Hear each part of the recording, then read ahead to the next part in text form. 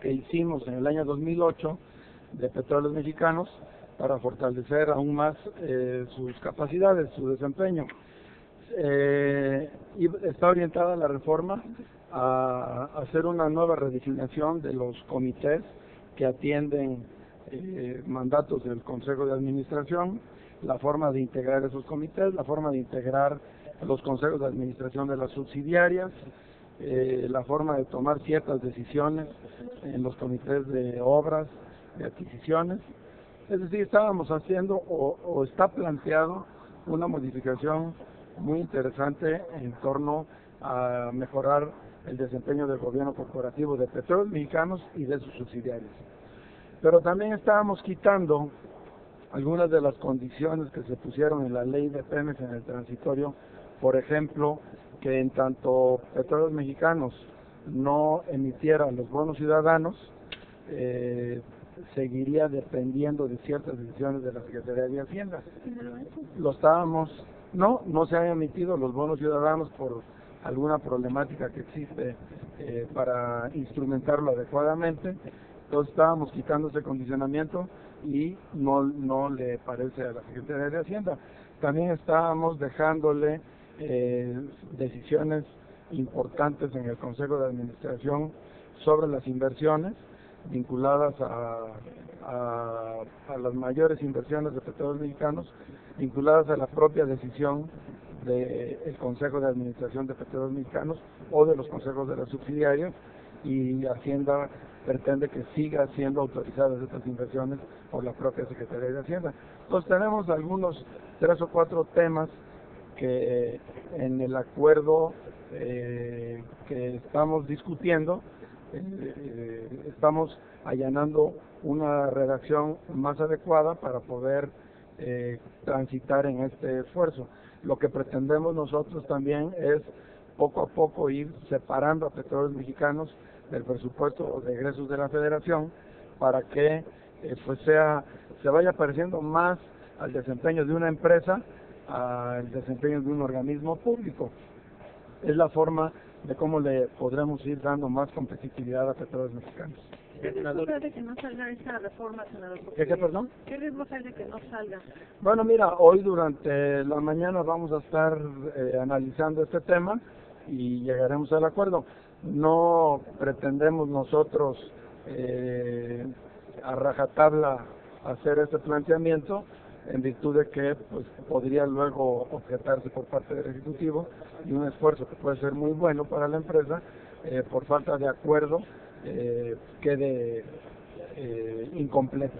Por eso vamos a discutir hoy algunos temas, estos temas con la Secretaría de Hacienda, a ver de qué manera vamos allanando el camino para que la reforma transite por lo menos aquí en el Senado antes de que terminemos el periodo. Oiga, señor, y es respecto a los fondos, porque es que no han salido hace como cinco años, ¿no? Que los planteó bueno, desde el 2008 y tenían un plazo para poderse emitir, pero hay, sinceramente desconozco las razones por qué no puede instrumentarse el bono ciudadano para que a partir de ahí se pueda financiar petróleos mexicanos, que era el interés que teníamos.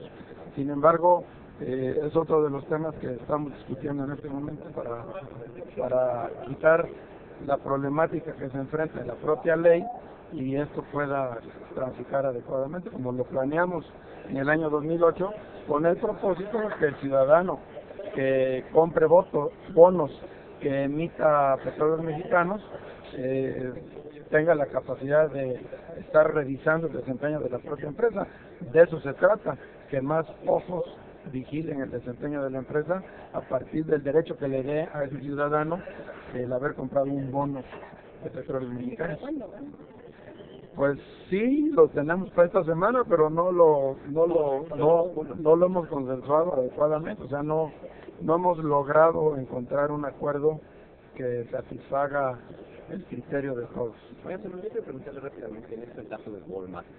¿Se debe impedir que esta empresa norteamericana siga invirtiendo en México con este caso de corrupción, sobornos que dio para poder instalar sus tiendas y ganar el mercado?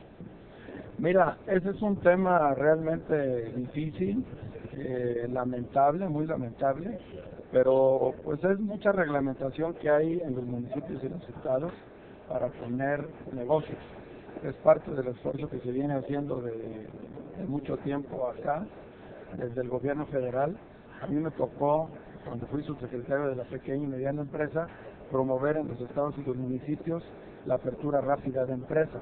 De hecho, hay módulos en muchos estados eh, que ayudan a que las empresas se puedan instalar rápido, pero desafortunadamente en algunos lugares la corrupción persiste, el reglamentismo persiste y, y pues se cae en estas prácticas que a nadie le gustan, que no son adecuadas. Pero ¿qué debería suceder ahí? Pues lo que lo que debe suceder primero hay que presentar una denuncia ante ante las instancias. Primero hay que saber en dónde fueron estos actos de corrupción, precisamente en qué municipios, en qué estados, para que se hagan las denuncias correspondientes ante los órganos eh, de auditoría de cada uno de los estados, ante las propias legislaturas que son quienes cuidan el desempeño de los municipios y a partir de ahí hacer las denuncias para que se siga todo el hilo y se castigue a las personas responsables. Pero desde luego también aquí hicimos una reforma en donde se castiga la corrupción de las empresas. Eh, no sé si la recuerden, hace aproximadamente un año se hizo una reforma eh, precisamente para que se castigaba eh, en, la- las leyes de las responsabilidades de los funcionarios sobre las responsabilidades de los funcionarios públicos se castiga al funcionario público que comete corrupción, pero no se castigaba a la empresa.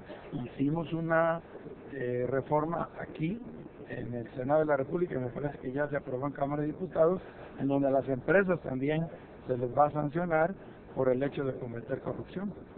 El gobierno tendría que castigar a Walmart. Bueno, de acuerdo a la legislación y de acuerdo en donde se establecieron estos actos de corrupción, donde se realizaron, son quienes deben de llamar a cuenta a la empresa.